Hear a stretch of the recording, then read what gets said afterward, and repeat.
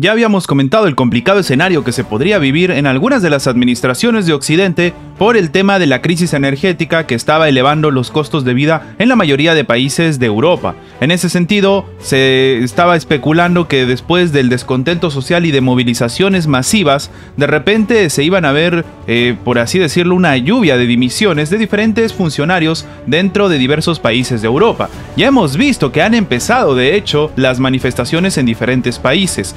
Sin embargo, aparentemente en algunos otros no es necesario llegar a manifestaciones masivas o a disturbios incluso generados por la población para demostrar su descontento para que empiecen a renunciar diferentes cargos. En este caso, lo que está sucediendo en el Reino Unido es precisamente esto. Acaba de dimitir el canciller de Hacienda en el Reino Unido, lo cual demuestra que la situación está bastante complicada. Recordemos que cuando sucedió el tema, por ejemplo, de la salida de Boris Johnson, empezó también con el ministro de Finanzas, el ministro de Economía y su dimisión, que al final incluso él mismo terminó presentándose para ver si lograba el cargo de ser el nuevo primer ministro. Al final sabemos que en realidad quien terminó en este cargo fue Truss. Sin embargo, en esta situación tan complicada, muchos y empiezan a decir que de repente el panorama que se vive, sobre todo dentro de Europa, es bastante complicado. Antes de empezar, te invitamos a que te suscribas al canal si aún no lo estás y a que actives la campana de notificación.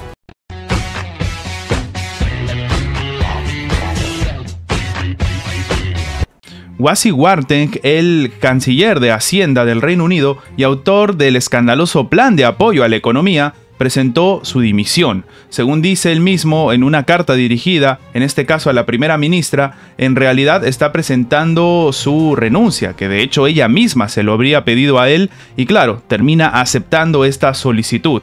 En ese sentido, recordemos que de hecho él mismo dice que va a seguir apoyando a su sucesor, así como a la propia primera ministra. El gobierno británico nombró al ex ministro de Exteriores del país, Jeremy Hunt, como nuevo canciller de la Hacienda. Ahora, en esta situación tan complicada, el gobierno británico, encabezado por Truss, fue sometido a fuertes críticas por el nuevo plan de apoyo a la economía y los recelos de que el gabinete empiece a aumentar el volumen de la deuda pública precisamente para lograr este objetivo. El plan fue presentado a finales de septiembre en el Parlamento precisamente por Warteng y estipulaba, por ejemplo, efectuar un masivo recorte de impuestos. Una vez anunciado ese plan, la rentabilidad de los valores del Estado registró 4,6 o el nivel máximo desde el 2008, lo cual lleva consigo a la caída de la demanda de las obligaciones de deuda. En relación con eso cayó bruscamente también la moneda nacional, hasta el mínimo histórico de 1.054 dólares por libra esterlina. Una de las medidas de apoyo estipulaba, por ejemplo, reducir el impuesto a la renta del 45 al 40% para los ingresos superiores a los 150 mil libras esterlinas al año,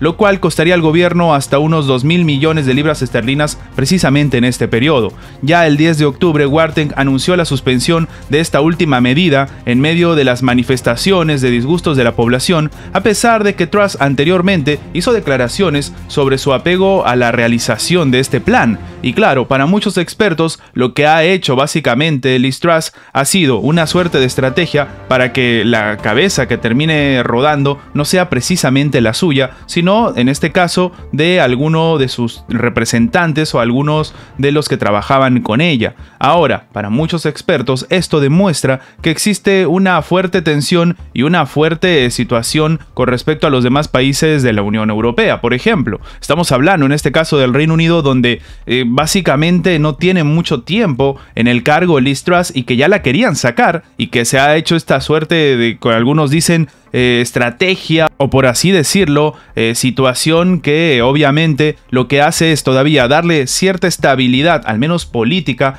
porque no estamos hablando de la salida del principal representante o la principal representante, en este caso del Estado, pero sí que puede poner sobre tela de juicio lo que puede suceder en un futuro con respecto a este tipo de acciones. De momento, las manifestaciones no han sido tan fuertes y tan contundentes como en otros países, como por ejemplo Italia, pero sí que se demuestra que la tensión se está viviendo bastante complicada dentro del continente europeo.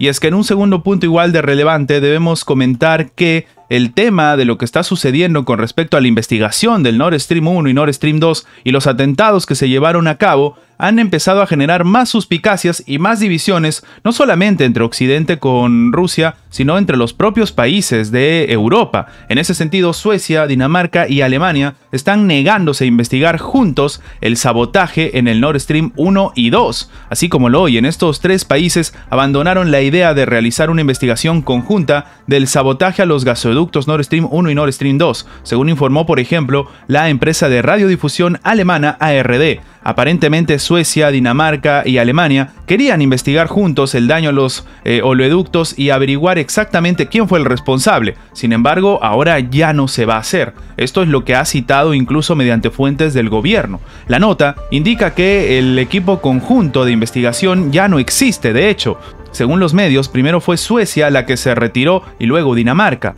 También se especifica que Suecia expresó su preocupación con la confidencialidad de los datos. Ahora cada país está realizando su propia investigación, pero el hecho de que se generen divisiones en algo que debería arrojar resultados sobre los ataques que se han hecho en este caso a la infraestructura de Rusia empieza a llamar bastante la atención. Ya el hecho de que el Nord Stream 2 AG, la operadora, en este caso del gasoducto, que informase de la fuga de gas provocada por causas hasta ahora desconocidas, empiece a decir que en realidad ellos no sabían exactamente cuándo podían volver al funcionamiento regular, que de hecho algunos países de Occidente le estaban exigiendo que le den un plazo exacto para saber cuándo van a volver a suministrarse los recursos, en este caso obviamente de gas, eh, para Europa en medio de una crisis energética que se está viviendo y de hecho se está trabajando una suerte eh, de crisis también dentro de los propios depósitos estratégicos de, de estos países, pues esta situación hizo que los propios de Nord Stream dijeran que ni ellos mismos sabían cuánto iba a durar,